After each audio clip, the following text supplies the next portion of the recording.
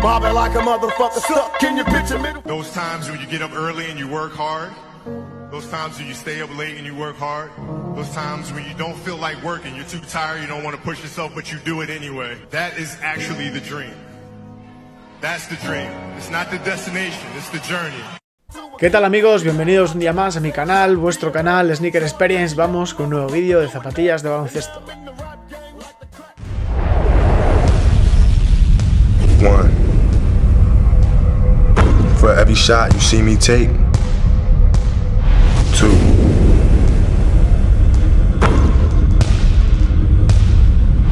Three.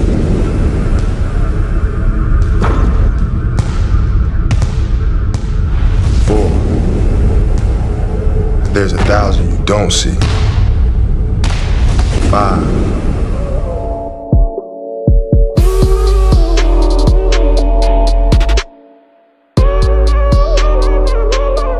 Sorpresón el que os traemos hoy a todos vosotros con esta gran zapatilla, la Adidas Crazy One, rebautizada en el año 2006. Su nombre auténtico cuando salió allá por el año 2000 fue Adidas de Kobe, como habéis podido ver en el anuncio comercial.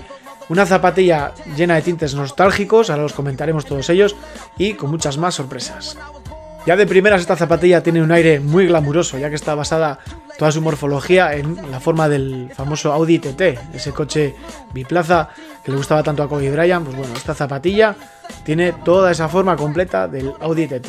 Eso por un lado. Por otro lado, tintes nostálgicos, porque esta fue la zapatilla que usó Kobe Bryant para ganar aquel famoso quinto partido cuando Shaquille O'Neal fue expulsado en los últimos minutos del último cuarto, en los cuales eh, una serie de puntos de Kobe Bryant llevó la serie a Los Ángeles con un 3-2 que acabaría con un 4-2 definitivo y ese primer anillo del three-pit famoso de Los Ángeles Lakers y ese combo que era llamado el dúo que hacían Kobe Bryant y Shaquille O'Neal.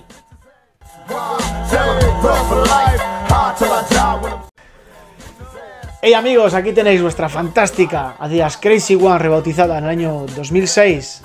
Originalmente Adidas de Kobe, una zapatilla llena de glamour, de historia y sobre todo de mucha nostalgia por la pérdida del gran Kobe Bryant. Aquí tenéis vuestra Adidas Crazy One Colorway Los Ángeles.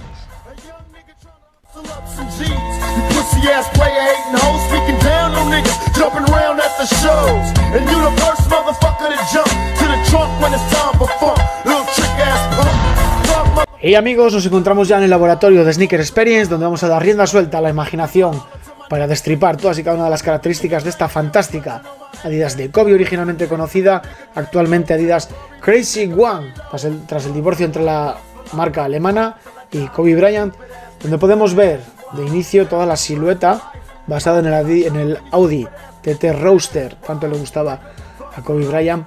Una zapatilla que tiene una doble espuma en el tobillo, fantástica, la verdad es que está súper, súper acolchada, está Adidas Crazy One Los Ángeles, podemos ver una puntera de media carcasa, fantástica también, podemos ver que la media carcasa se refiere a que solo es de aquí para allá, es decir, no tiene una gran parte esta puntera de zapatilla, simplemente es mitad y mitad, es una zapatilla realmente muy, muy curiosa, podemos ver el magnífico sistema Torsion. ¿Qué es ese sistema Torsion? Bueno, es una unión de TPU, es poliuretano termoplástico, que quiere unir tanto el talón como eh, el entrepié, ¿vale?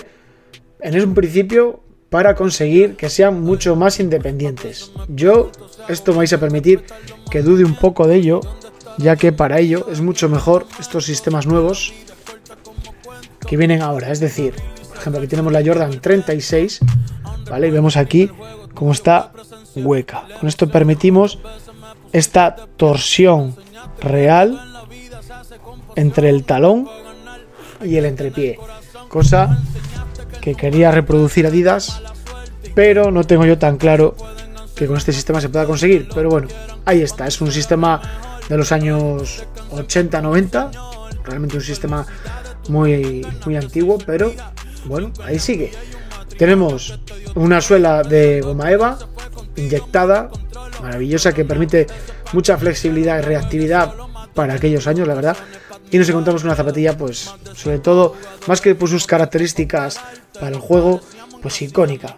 Porque era la zapatilla de Kobe Bryant, la zapatilla con la que ganó su primer anillo contra Indiana, zapatilla con la que en el quinto partido metió a su equipo de lleno en la lucha por el título otra vez con ese 3-2, esos puntos que metió para ganar ese quinto partido y bueno, pues, que consiguieron luego ese combo formado por Kobe Bryant y Shaquille O'Neal. Una zapatilla maravillosa que pasará a los anales de la historia y que será súper, súper recordada. Podemos ver la talonera maravillosa. Ahora es que es, es una zapatilla que tiene pocos detalles estéticos, pero que es maravillosa. Realmente muy, muy maravillosa. Pionera en el sistema torsion, queriendo, pues eso, digamos, independizar el movimiento del talón y del empeine.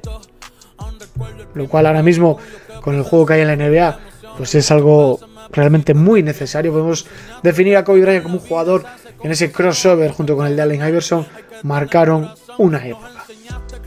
Más características a tener en cuenta, pues bueno, tenemos una lengüeta realmente muy muy acolchada, fantástica, vemos como la plantilla personalizada de Adidas. Es algo fantástico, es una zapatilla muy muy acolchada, también lo lleva en detrimento del peso, por supuesto que sí, por supuesto que es una zapatilla, pues bueno, que pesa, pero vemos como todos estos vaciados que tiene aquí, todos estos huecos permiten que a la vez sea una zapatilla, pues bueno, para la época bastante, bastante ligera. Una zapatilla de piel maravillosa y, bueno, pues que para mí sobre todo tiene mucho más de icónico que de útil. También, como podéis observar, hemos pasado de una zapatilla al estilo del año 97 Fit You Weird, que tenía muchas formas y tenía pues muchos más detalles tal vez, a una zapatilla mucho más, estéticamente hablando, más plana, pero sí mucho más cómoda. Una zapatilla con un patrón de la suela en forma de espiga, lo cual hacía posible ese crossover mítico de Kobe Bryant que tanto se puso de moda de ese magnífico draft del año 96 de Allen Iverson, Ray Allen, Stephon Marbury, Kobe Bryant, Marcus Camby, etc, etc. Fantástico. Y una zapatilla, pues bueno, que, realmente creo escuela, súper, súper acolchada. Aquí la verdad es que la marca alemana lo hizo bastante bien. Una zapatilla que a mí me gusta mucho. Y podemos ver, pues bueno, por la parte interior toda esta silueta del Audi TT Roadster. Los fracasos pueden hacernos más fuertes, digan lo que quieran, para mí será el mejor. Ay. Fantástico tributo, el de Sneaker Experience a la figura de Kobe Bryant, este unboxing de la reeditada Adidas Crazy One, alias Adidas de Kobe. Fantástico evocar otra vez la figura del legendario jugador angelino y recordarlo. It's not the destination, it's the journey, that's the dream. Os quiero. Al mismo tiempo para pararte, nos parecíamos, encasillamos arte.